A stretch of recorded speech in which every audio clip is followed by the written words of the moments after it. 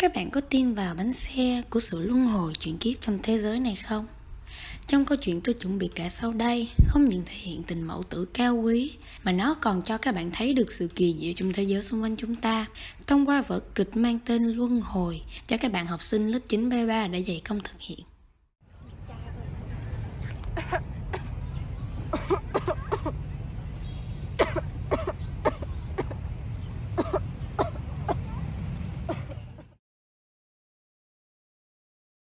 Thật xin lỗi, hiện tại bệnh viện của chúng tôi đã sử dụng hết bình thở rồi. Con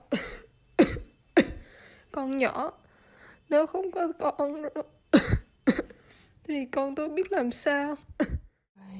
Tôi đã tìm hết bệnh viện rồi, chả còn bình thở nào hết. Cơ hội sống sót của bệnh nhân là rất thấp. Hey, bây giờ phải làm sao đây?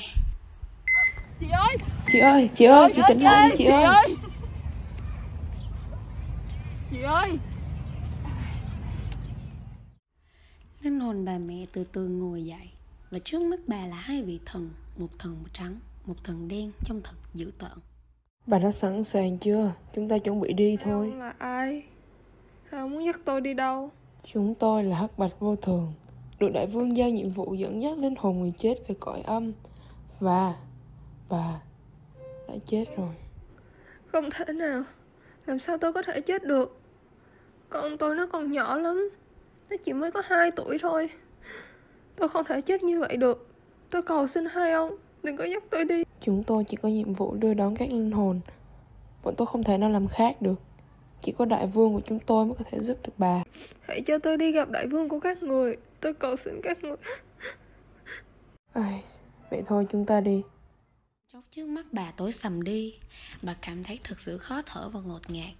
Cảm giác giống như bị một thế lực nào đó đè mạnh xuống dưới Bà liền ngước liệm đi. Sau khi đã dần dần tỉnh lại Bà cảm thấy không khí xung quanh thật lạnh. Đứng trước mắt bà có một khuôn mặt đáng sợ.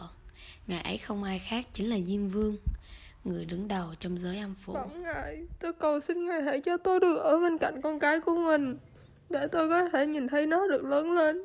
Tôi không cần được ở bên con mãi mãi Tôi chỉ hy vọng có thể thấy nó được bên nơi an toàn. Ngay sau đó Ông có thể bắt tôi đi chịu bất cứ hình phạt nào cũng được cả. Cả cả bị đầy xuống 18 tầng địa ngục. Niệm tình những công đức nhà ngươi làm khi còn ở trần thế Ta sẽ cho nhà ngươi một cơ hội Được ở bên cạnh con gái mình cho đến khi cô ấy đến tuổi đôi mươi. Con đội ơn Diêm Vương Con đội ơn Diêm Vương ạ. À.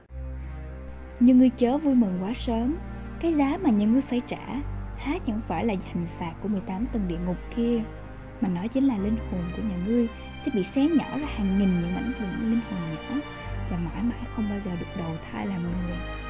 Ngươi hãy cân nhắc thật kỹ. Xin thưa con chấp nhận ạ. À.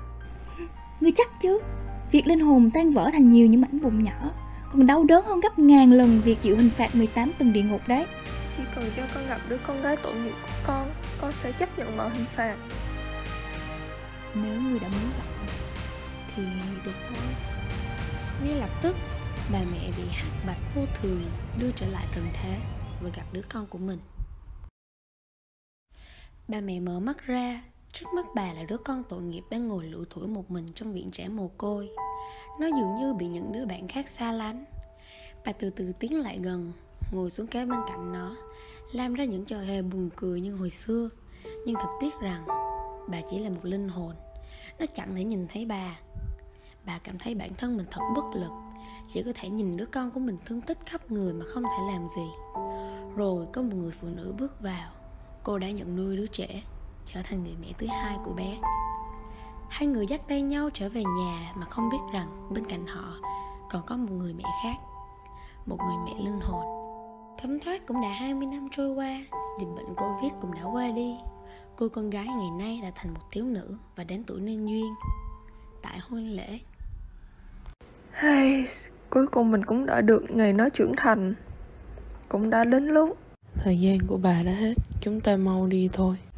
Ba mẹ đi theo sau Nhưng lại không nỡ rời xa đứa con gái của mình. Chỉ đành quay đầu Nhìn nó một lần cuối.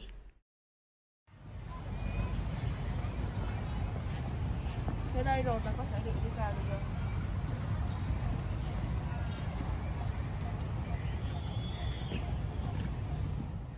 Người đã mãn nguyện rồi nhỉ? Cảm ơn ngài. Xin vĩnh biệt ngài tại đây. Vậy ngươi hãy mau đi đi. Ba mẹ nhắm mắt lại Bước qua cây cầu một cách thanh thản. Linh hồn ngay chốc thoáng đã biến thành những mảnh vụn nhỏ Hòa tan theo gió. Trên mảnh đất lạnh giá chỉ còn lại một bộ xương trắng.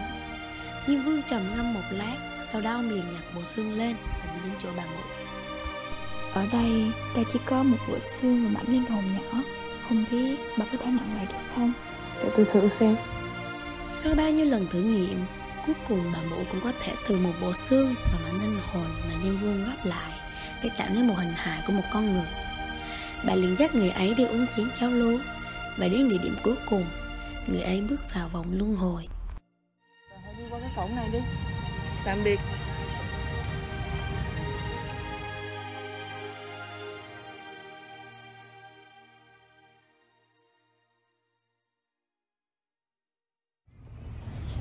Thương quá. Con gái của mẹ có một nước mắt vừa dưng trên mặt nè.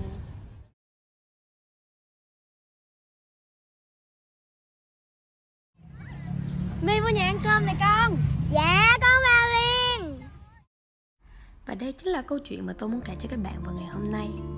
Tôi không biết mọi người nghĩ thế nào về câu chuyện này. Tuy nhiên tôi hy vọng thông qua vở kịch này Các bạn sẽ đôi nét hiểu được rằng tình mẫu tử là tình cảm thiêng liêng và cao cả nhất mọi mối quan hệ cuộc gặp gỡ trên đời này đều được sắp đặt sẵn. Chúng bắt đầu từ chữ duyên.